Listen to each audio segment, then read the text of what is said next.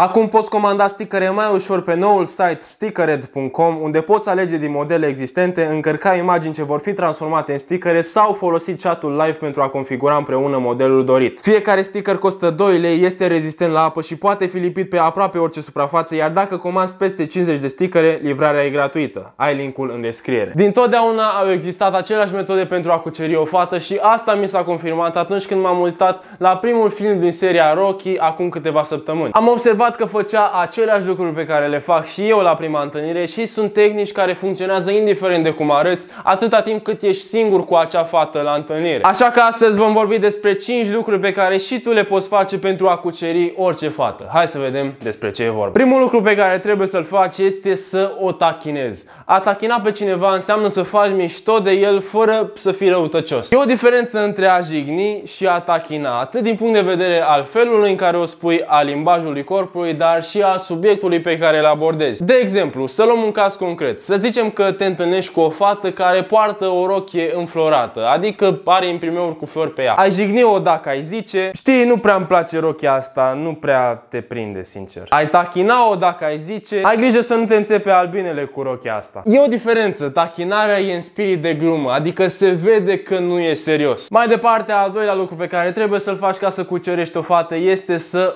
o atingi. Multor băieți le e frică să atingă o fată la o întâlnire, ca să nu mai vorbesc de sărutat. Însă e foarte important să treci de acea barieră a spațiului personal pentru a o face să se simtă mult mai confortabil cu tine. De exemplu, după ce ai tachinat-o, poți să o împingi așa puțin pe umăr ca să știe că glumești și să vadă că ești o persoană de gașcă. Un alt lucru pe care îl poți face și care personal mie îmi place să-l fac este să duc brațul pe după capul ei atunci când mergem pe stradă sau când stăm pe o bancă. Simt că asta ne apropie într-un fel de decât să mergem la 2 metri distanță unul de altul ca și cum n-am fi la o întâlnire. Așadar, nu-ți fie frică să atingi o fată nu te mușcă. Al treilea lucru pe care trebuie să-l faci ca să o cucerești este să o inviți la o aventură. Ultimul lucru pe care îl vrei este ca întâlnirea voastră să fie plictisitoare. Sigur, vorbiți, aflați chestii unul despre celălalt, dar la un moment dat s-ar putea să rămâi și fără subiecte de discuție. În acel moment trebuie să găsești ceva distractiv de făcut împreună. În filmul Rocky, despre care am vorbit la început, Rocky Balboa o duce pe gagică la un patinoar ca să patineze împreună, deși ea nu prea se pricepe. E bine, asta e și ideea, să faceți ceva intrigant intrigant, poate o activitate pe care nici ea, nici tu nu ați mai făcut-o. Dar să fie ceva distractiv și pe care să-l țineți minte. Puteți să vedeți apusul împreună, să mergeți la patinoar, la picnic, la concert. Sunt atâtea activități pe care le poți face împreună cu o fată. La prima întâlnire să ai și ceva de făcut este mai bine decât să stai pe o bancă și să vorbești, să vorbești, să vorbești până te doare gura. Al patrulea lucru pe care trebuie neapărat să-l faci este să fii un gentleman. Asta înseamnă să îi ții ușa dacă intrați undeva sau dacă o iei cu mașina mașina,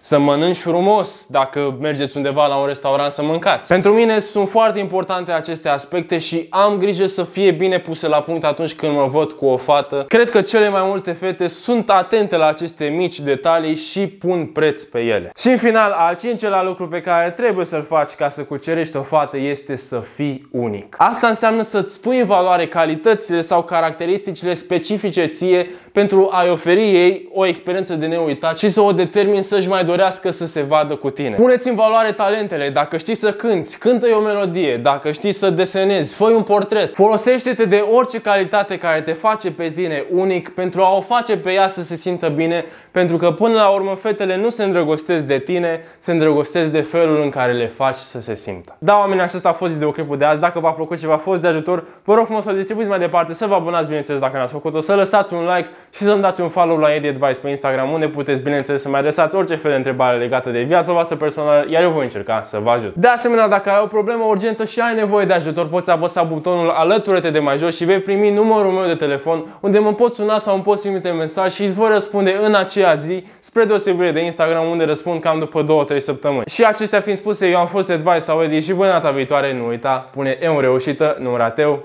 pa, pa!